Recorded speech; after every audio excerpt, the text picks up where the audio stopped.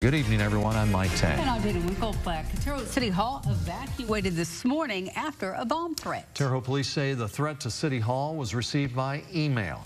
According to investigators, the email mentioned the possibility of a bomb inside City Hall.